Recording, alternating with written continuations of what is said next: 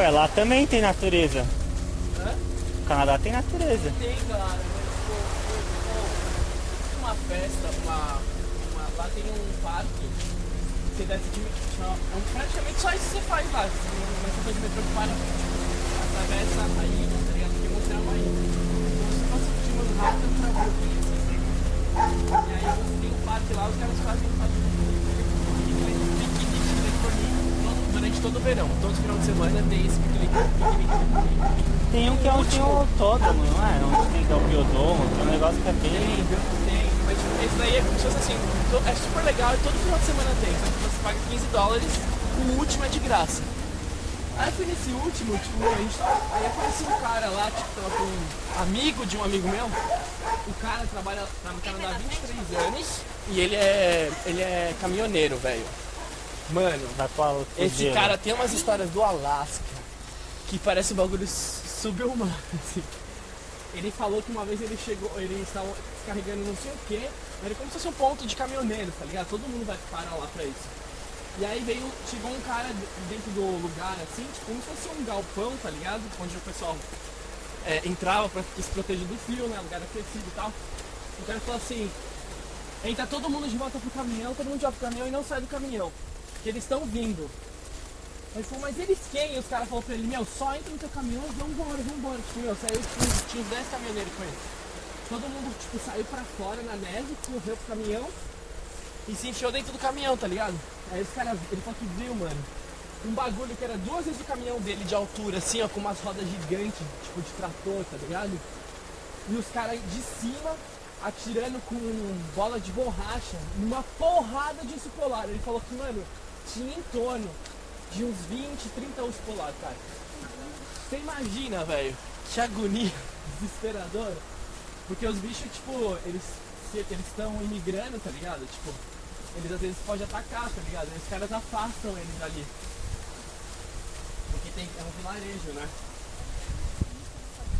Nossa, aqui, não sei não.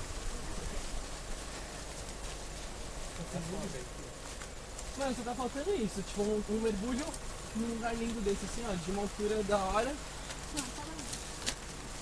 Pular assim. Aqueles, né? Se jogam, né? Pá.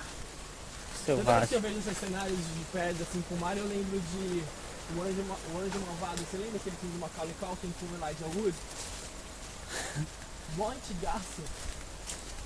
Ninguém lembra desse filme? Não, não é da minha época. Pô, pelo amor de Deus. Era da hora. Ele fica com ciúmes da mãe, do, moleque que a mãe dele tá. Tá adota o moleque tá, que é dele, ele tá com ciúmes da mãe dele. Ele mata o irmãozinho na, na banheira e faz parecer que foi o filho.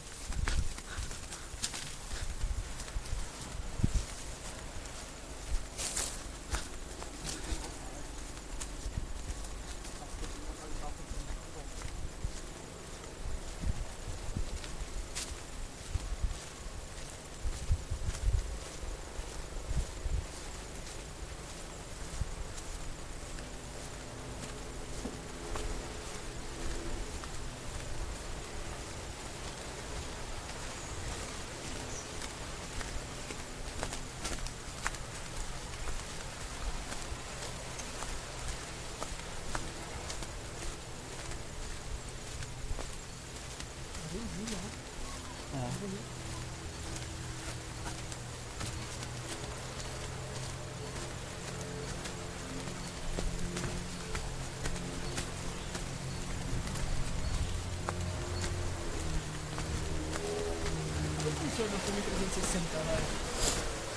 Ele grava numa esfera tudo. Então quando você vê aquelas bolinhas, você sabe. é, Sabe quando tem umas bolinhas assim, daí tem tudo assim em volta a imagem?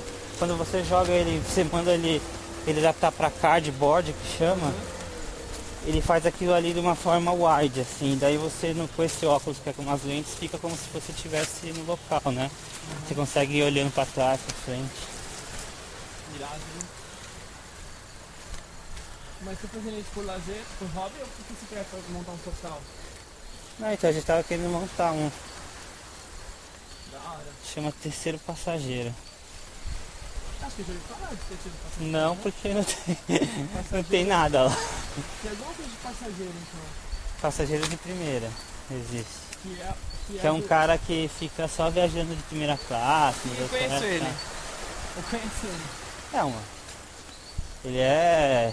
Ele é o blogueiro mais famoso Blogueiro. da companhia aérea. Acho que sim. É que agora ele fica nos hotéis, então também ele posta os hotéis, né? Sim. Restaurantes de. de restaurantes de. Lugar que ele vai e tal. Sabe de onde ele é, né? Não. Berlândia. Ah é? Mas eu acho o conteúdo dele muito fraco. Por isso que eu acho que tem muito espaço pra fazer coisa legal, cara. Ah tá. Ele é muito fraco, velho. Só que assim, ele manja tecnicamente de aeronave, então as coisas que ele fala pra quem curte aeronave é da hora.